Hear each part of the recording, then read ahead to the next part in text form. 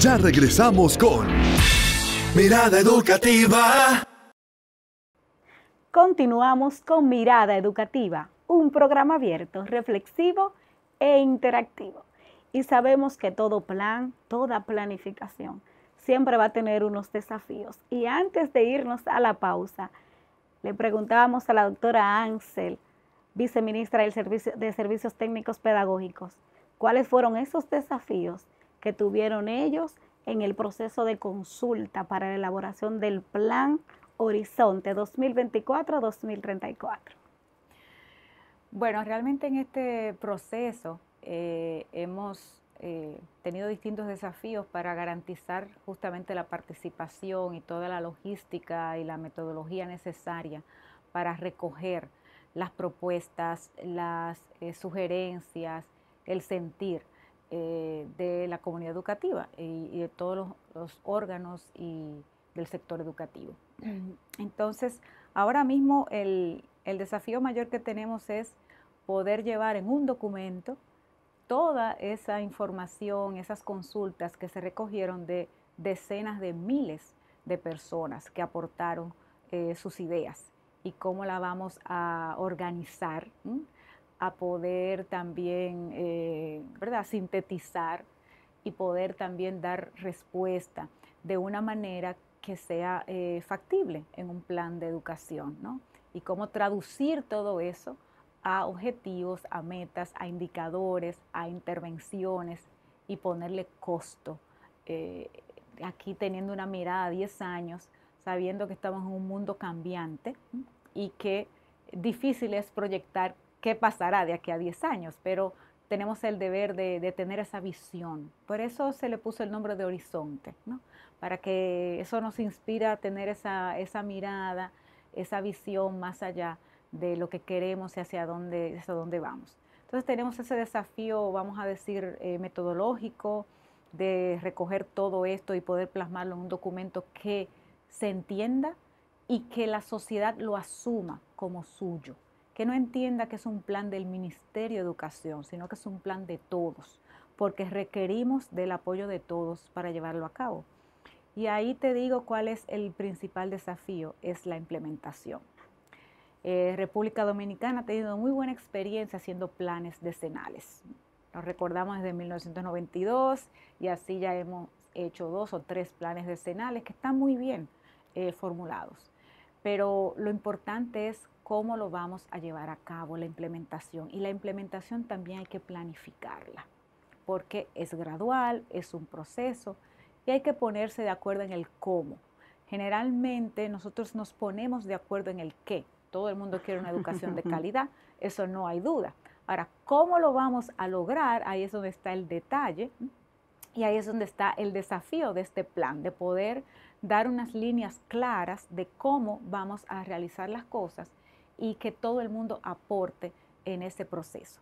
Entonces, esa definición de la implementación es fundamental y la gestión que hay que tener para poder lograr que se desarrolle el plan y el acompañamiento a ese proceso. Un acompañamiento que va desde el que hay que hacer en la escuela, en el aula, hasta a niveles medios y, niveles altos, de manera que podamos asegurarlo. Y por eso el plan, parte de lo que tiene previsto es desarrollar la estrategia de monitoreo, de evaluación, de veduría, de manera que toda la sociedad se involucre en el desarrollo del plan. No solamente queremos que la sociedad se involucre para decirnos está bien, está mal, falta esto, es que también aporte las manos para que se haga lo que falta, no solo que lo diga. Entonces, por eso es un, lo que queremos es que todo el mundo sienta que es su plan y que es corresponsable de ese desarrollo. ¿Quiénes estarán, quiénes tendrán esa responsabilidad de ese monitoreo, de velar por que esa implementación y esas metas que, se han diseñado y que están plasmadas se puedan llevar a cabo en el tiempo que está establecido. Sí, bueno, más allá del obvio del propio Ministerio de Educación a través de sus eh, direcciones y viceministerios, ¿no? planificación en las direcciones que tienen que ver con, este monitoreo, también tenemos otros órganos del gobierno, tenemos el Ministerio de Economía, Planificación y Desarrollo velando, pero eh, y también tenemos eh, el pacto, eh, el pacto por la educación que de hecho está 2014-2030 y de alguna manera también impacta, abarca el plan decenal, aunque el plan decenal trasciende, pero ahí hay una sociedad organizada que también tiene que velar y por eso es el llamado a revisar el pacto y poder llegar, eh, renovar acuerdos de calidad y poder mirarlo desde este plan. Y también el mismo plan eh, plantea que podamos tener eh, esta, todavía se está en diseño, pero vamos a decir esta veeduría de parte de la sociedad civil, de las organizaciones nacionales, del sector educativo, de manera que puedan dar apoyo, seguimiento, monitoreo, alertas eh, en relación a este plan. Como, como, dije, lo que queremos es que estén todos involucrados. Y hay organizaciones que desde siempre han estado presentes y, la idea es que esas y más se eh, ya han participado en las consultas, pues que también sigan eh, a lo largo de todo el proceso de 10 años. Usted nos ha dicho que las familias son fundamentales y que han estado en este proceso pero usted ha dicho algo también importante, cómo también ellos se pueden hacer parte de la solución de estas problemáticas que se han estado levantando. Entonces, conociendo esto, ¿qué papel va a jugar la familia eh, en la implementación de los planes y proyectos que se proponga este plan? Así es, la familia es, fundamental y de hecho en las consultas ellos participaron en los distritos eh, y hemos recogido de sus inquietudes y de sus propuestas. Y vemos la importancia de trabajar de manera muy unida con, la familia, porque la verdad, como hemos dicho, la escuela no puede sola, es junto con la comunidad y junto con la familia. Y es algo que se ha considerado dentro del plan. Y de hecho también hay previsto eh, programas, intervenciones específicas para trabajar con la familia desde su educación y formación para ayudar a los padres en la, en la crianza, en el cuidado. Eh, la gente se hace padre y madre, pero no viene con un manual de cómo hacerlo. Entonces es también misión desde educación poder darle herramientas de cómo educar a sus hijos, de cómo eh, ayudarlos a, crecer, de cómo formarse desde una disciplina positiva. Entonces hay todo un trabajo de fortalecimiento de esas habilidades para, para ser eh, parentales, ¿no? Y también el trabajo con la participación, el fortalecimiento de su participación en las juntas de centro, en las ABMAE, las asociaciones de, padres y madres, en las escuelas de padres y madres, de manera que se involucren en ese día a día del centro educativo y el centro esté abierto a, a, trabajar junto eh, a la familia que le pueda rendir cuentas de su labor. Entonces, todos estos eh, programas, de hecho tenemos ahora programas en marcha, ¿no? Que trabajan eh, este tema para transformar la familia, para comprometerla. Y la idea es que esto se fortalezca, eh, porque es absolutamente necesario que la familia se involucre y que aporte y participe en este proceso de renovación de la educación. Y dimos una pincelada y una mirada a lo que será el Plan Horizonte 2024-2034. Pero hay un año escolar que nos convoca, 2024-2025. ¿Cuáles son esas novedades que se está realizando desde el viceministerio con todas sus direcciones y departamentos para tener un año escolar exitoso? Sí, de hecho, pues ya cosas que, que uno vislumbra en el plan Horizonte, ya están en marcha porque son parte de las metas prioritarias que, tenemos. Y aunque yo sé que el tiempo no me va a dar, voy a destacar algunas cosas de, en este año. Eh, es importante enfatizar la política de alfabetización inicial en la etapa oportuna. Nosotros eh, llevamos eh, tanto el programa con base, junto con otras acciones, que desarrollamos para asegurar que los niños en el primer ciclo de primaria concluyan su alfabetización. Esto es importantísimo. Desde el primer grado eh, ya tenemos que tener los niños y niñas leyendo, escribiendo y con los conocimientos básicos de matemática. Esta es una prioridad. Es un programa que hacemos en coordinación con UNICEF, pero que también hemos ampliado en la formación junto con INAFOCAM y también con varias iniciativas que, están en marcha de, programas que complementan este. Tenemos ahora una iniciativa en el sur con USAID y sobre todo es, eh, es algo que el ministro le ha dado mucho énfasis y de hecho queremos reconocer a final de año a los docentes que logren la alfabetización de todos sus estudiantes. Esa es nuestra meta número uno. Eh, y en ese sentido, pues hay todo un programa de formación, materiales y acompañamiento. También una eh, novedad en el sentido que iniciamos este año es el programa para el fortalecimiento de las competencias en el nivel secundario. Es un trabajo que ahora mismo se está haciendo de capacitación a los técnicos y a los docentes en las competencias en lectura, matemática y ciencias.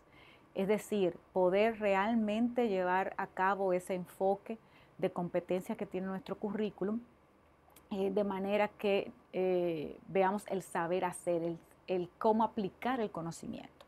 Hay una formación que está en marcha, también en eso tenemos apoyo de la OEI y de INAFOCAM, de ISFODOSO, del IDEICI, eh, para también la parte de investigación y todo el nivel secundario. Y ya en las próximas semanas, pues esa formación de los docentes va a iniciar con los estudiantes, con talleres que van a estar realizando para el desarrollo de sus competencias, de manera que estén fortalecidos en ese nivel secundario. Así como atendimos el primario, pues este es el programa para el nivel secundario. También ahí se incluye todo el tema de tecnología. Eh, estamos ampliando la conectividad en las escuelas y el uso eh, de la tecnología para eh, los aprendizajes. Ahora mismo vamos a sacar unas orientaciones a los docentes para que puedan aprovechar esos recursos digitales en su proceso de enseñanza-aprendizaje. También destacar que, estamos, que hemos eh, iniciado un programa de inglés eh, en el nivel secundario. Ahora mismo 40 mil estudiantes, pero esperamos en el mes de enero ampliarlo a 150 mil estudiantes que a través de eh, la plataforma en línea IF, pues tienen todos los recursos ¿no? para desarrollar dominio del idioma inglés, todos los materiales para eso, que es algo importantísimo. También estamos iniciando los programas de educación vial. Eh, ya las charlas con el Intrant, es un acuerdo que tenemos, están en marcha. Eh, así también los programas de, eh, de medio ambiente y, de, y programas y huertos escolares y salud escolar. Son programas que, que estamos desarrollando, fortaleciendo, iniciando ahora, programa de escuela abierta y activa, que las escuelas en secundaria abran los sábados para que los muchachos hagan deporte, tengan actividades culturales. Vamos a, iniciarlo. Bueno, ya iniciamos con 30 centros y lo, pensamos eh, ampliar también. Eh, son programas del nivel que se realizan en el nivel secundario y que son parte de esa propuesta de desarrollo integral de los estudiantes. Y ya mencioné en lo técnico profesional y artes que hemos tenido equipamientos que estamos haciendo formaciones específicas, especializadas para estas modalidades, de manera y visibilizando también todo ese talento que hay, eh, sobre todo que tenemos las, las galas y las ferias, tanto en arte como en la parte técnico-científica. Y también adultos, decir, tenemos, eh, actualizamos el currículum de adulto, que no se actualizaba desde 1995. Eh, el año pasado tuvimos la adecuación de inicial primaria y secundaria, pero este año hicimos la actualización completa del currículum de adultos, del sistema de evaluación de adultos, o sea que es un gran desafío llevarlo en marcha y estamos en ese proceso actualmente. También con la elaboración de nuevos libros, nuevos módulos de adultos.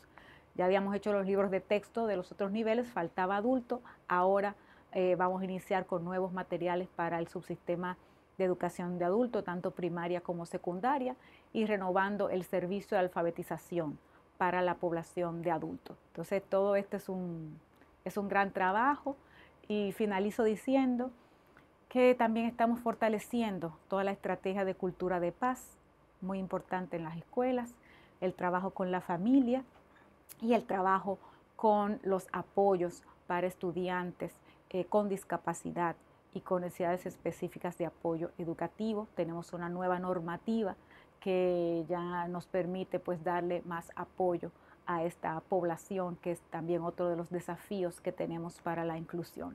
Entonces estamos avanzando eh, con muchos programas, con mucho trabajo, eh, en, en, coordinación con las distintas direcciones y todo, todo muy de cerca con las regionales y distritos y los centros educativos, porque como dije anteriormente, para avanzar en educación necesitamos que todos estemos enfocados en nuestra meta de mejorar los aprendizajes y el bienestar de los estudiantes.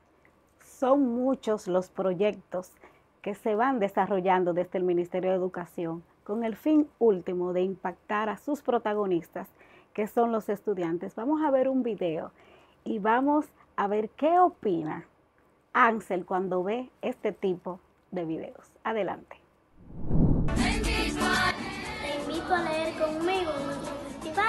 ¡Oh! ¿Y dónde es eso?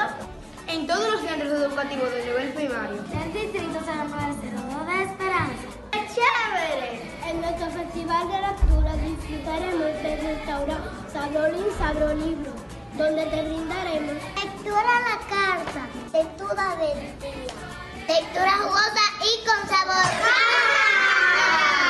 También tendremos el mercadito de lectura. Porque si de noticias quieres saber, un periódico debes leer. Si quieres aventura, lánzate en la lectura. Si quieres aprender, no dejes de leer.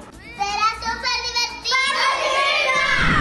Doctora Ansel, ver la naturaleza, la naturalidad, eh, la, inocencia de todos estos niños y ver cómo ellos desde su centro educativo motivan y, se fomenta eh, la lectura. ¿Qué, ¿Qué le mueve, qué le hace sentir ver estas imágenes? Bueno, esto nos dice que sí es posible, que sí es posible eh, cambiar la educación, que sí es posible lograr estas metas que nos hemos propuesto. De hecho, nosotros promovimos estos festivales de lectura para promover en cada centro educativo la lectura de una manera creativa. Y así se hicieron estos festivales en la escuela, a nivel de distrito, regional y nacional. Y pudimos ver a los estudiantes mostrando sus habilidades de lectura con mucha creatividad, leyendo diferentes tipos de texto.